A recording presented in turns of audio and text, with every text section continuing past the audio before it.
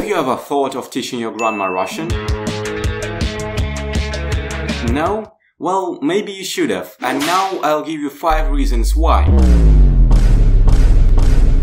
Reason number 1. Your grandma will acquire great taste in clothing as soon as she starts embracing Russian babushka culture. You'll be seeing your grandma in that Soviet babushka drip 24-7. And I'm not gonna lie to you, the shit looks lit. Though, you know, looking at this, I feel like that's the type of clothing Gen Z will be wearing when they'll retire. Oh yeah, and as an addition, your grandma's flat will start turning into one of these babushka apartments. So you'll probably see some trippy rocks on the walls, maybe some goofy toys here and there, but you should be prepared, cause sometimes these designs can get really creative.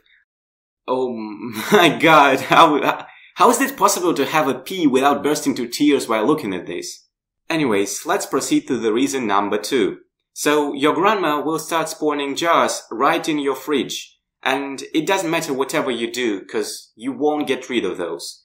They'll be here and you just ought to accept it. But actually, I have a great solution for you. You can open a business and sell canned tomatoes and pickles.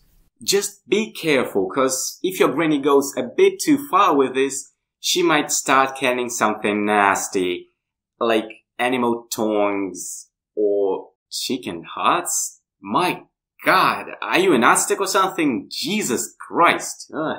Well, whatever, it's time for the reason number three. So, your grandma will obtain some kind of a Bluetooth module in her brain, I guess, so she'll be able to connect to some collective consciousness of Russian grandmas and learn all the known gossip about your neighbors in an instant. And I guess that's beneficial.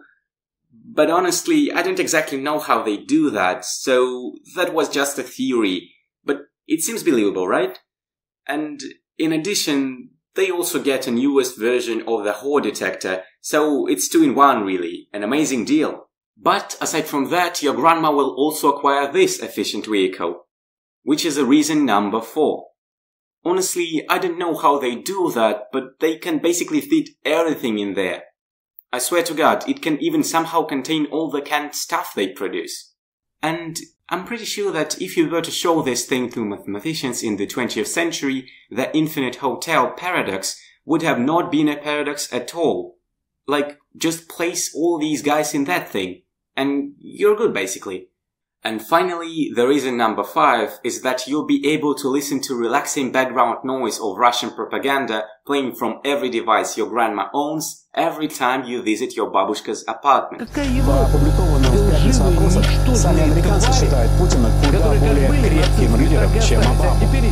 Just don't stay there for too long and don't ever try to sleep in her place, cause you may actually go insane.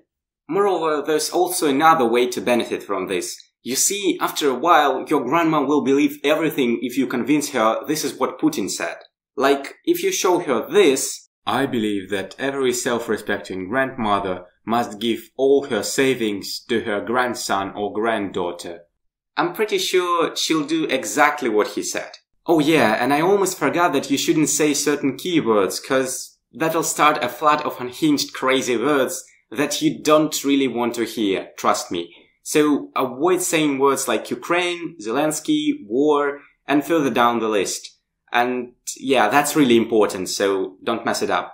So yeah, these were five reasons to teach your grandma Russian to turn her into babushka. And before this video ends, I have something to show you, babushka. So could you call her please? Every self-respecting grandmother should subscribe to NaiLies and watch his other videos.